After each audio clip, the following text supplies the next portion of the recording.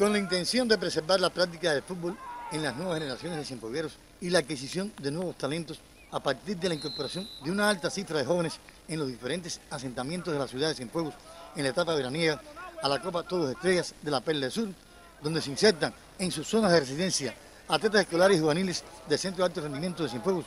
están las proyecciones y estrategias de trabajo del territorio para la etapa estival de uno de los deportes sureños con más títulos nacionales. Vamos a realizando talentos,